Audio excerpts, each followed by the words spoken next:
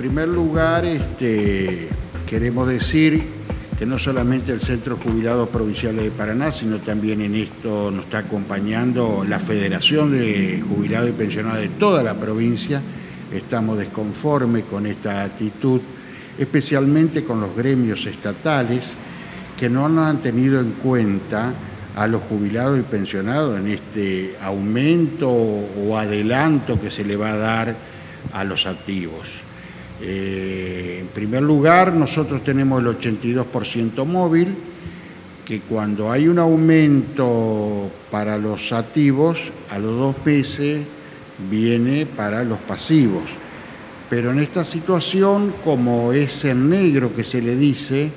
eh, los jubilados provinciales no van a recibir este adelanto o este aumento o este bono que se va a dar a los activos. Así que hemos decidido estar en alerta permanente. La semana que viene nos vamos a reunir nuevamente con la federación. Eh, si no se resuelve favorablemente el pedido que nos tengan en cuenta, vamos a realizar algunas acciones para que sepan los gremios y el gobierno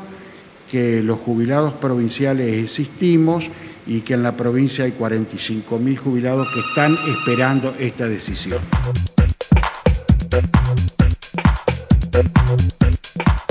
Esperemos que se tome conciencia y que los gremios también trabajen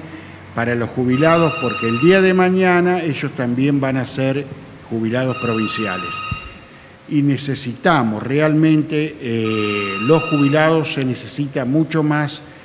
porque hay ciertos remedios, impuestos y además queremos decir que muchos jubilados mantienen a los hijos y nietos.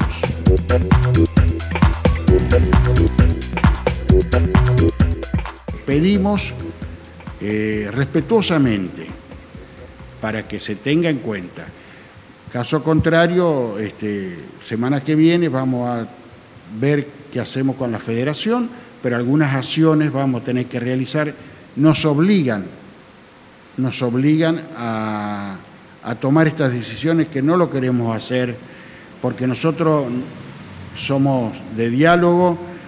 y comprensión,